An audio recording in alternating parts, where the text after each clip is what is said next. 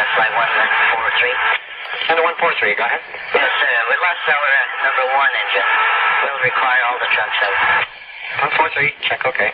Uh, this is uh, Mayday, and uh, we require a vector uh, onto uh, the closest available runway. You're approximately 12 miles from Gimli right now. Uh, where is it, on the right? On your right, about your 4 o'clock position. Do they have emergency equipment? Negative emergency equipment at all. Just one runway available, I believe, and uh, no control and uh, no information on it. And uh, the four, there'll be nobody on the runway when we get there, eh? Nothing? I don't know. I can't uh,